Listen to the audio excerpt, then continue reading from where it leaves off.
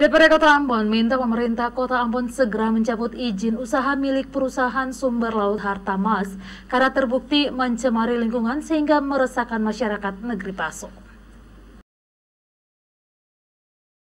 Hal ini dikatakan langsung Wakil Ketua DPR Kota Ambon Rustam Latupono saat rapat bersama di ruang rapat Komisi 3 DPR Kota Ambon Jumat siang. Rustam menilai perusahaan sumber laut Harta Mas tidak memiliki izin yang disesuaikan yang ditetapkan oleh pemerintah Kota Ambon sehingga menyebabkan pencemaran lingkungan. Rustam juga menyangka sikap dari Dinas Lingkungan Hidup dan Persampahan Kota Ambon yang terkesan mengabaikan izin yang dimiliki perusahaan sumber laut Harta Mas sehingga terjadi pencemaran lingkungan di negeri Paso. Rustam juga meminta agar Dinas Lingkungan Hidup Hidup dan Persampahan Kota Ambon segera menutup perusahaan sumber laut Hartama sampai dengan kelengkapan izin dipenuhi. Rustam juga menyayangkan sikap dari perusahaan sumber laut Hartamas yang terkesan mengabaikan teguran dari DPRD Kota Ambon saat melakukan on the spot ke perusahaan beberapa minggu lalu. Kalau semua hal bisa memenuhi standar untuk sebuah perusahaan itu berjalan, UPL, UKM-nya udah oke, perusahaan itu jalan. Tapi sepanjang itu belum bisa dipenuhi, harus diistirahat dulu.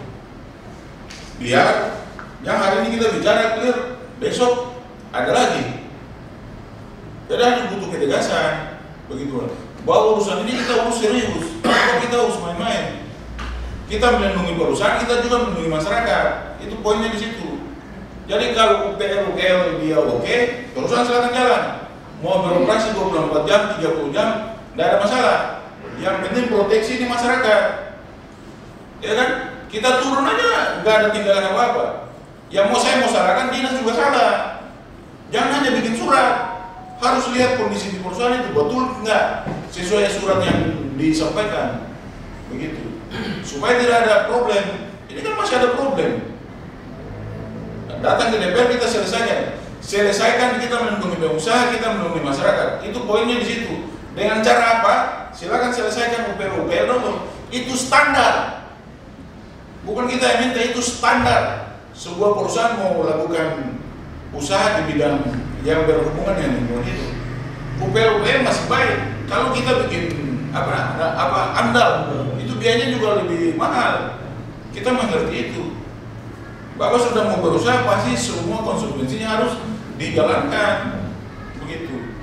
Jadi saya minta dinas serius. Silakan setelah rapat ini ditutup, besok lusa silakan berkoordinasi dengan perusahaan. Sepanjang UKL, UPL belum ada, tutup dulu. Itu jalan baru. Perusahaan juga jalan. Biar tidak ada efek ke masyarakat. Sementara itu, Sekretaris Komisi 3 DPR Kota Ambon, Ab Obed Soisa, menyayangkan sikap Dinas Lingkungan Hidup yang mengabaikan laporan masyarakat negeri Paso yang terganggu dengan dampak dari limbah pabrik selama 4 tahun. Obed juga meminta wali kota untuk segera mengevaluasi kepala dinas dan sekretaris dinas lingkungan hidup dan persampahan kota Ambon. Dari lingkungan, kalau saya tidak teliti, kalau sudah kasih petunjuk, perusahaan bikin harus disertai dengan pengawasan sana. Harus disertai dengan pengawasan bukan dengar saja atau paling kurang telepon. Yang teleponnya apa dia? Lo kurang kurang baik kita masih bawa lingkungan ke pengadilan. Cemaran. Baru dianggap tidak berdosa, tidak bersalah. Kan bapak dong tadi masuk ke mukanya yang rasa bersalah. Bukannya kelihatan ceria. Padahal kesalahan yang paling besar itu Ini ibu kalau bisa nih juga kita rekomendasi supaya dong periksa orang-orang di pinggir di sekitar perusahaan itu dulu. Apakah mengalami gangguan atau tidak? Air-air yang ada di sekitar situ dicemar atau tidak? Nah itu penting. Jangan lingkungan lingkungan hidup ada padahal kerjanya amburadul sama sekali. Mestinya nih lingkungan harus ada perasaan malu bahwa lingkungan tidak mampu menyelesaikan. Itu dulu itu. Kalau memang tidak bisa menyelesaikan, pemerintah diusulkan ke pemerintah kota untuk minta tenaga ahli dari sana, dari luar.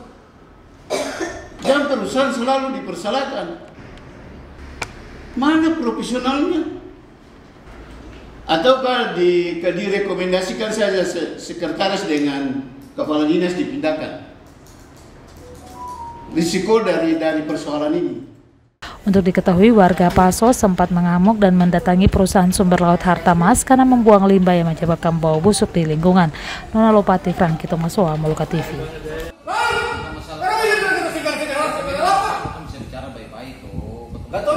Bapak.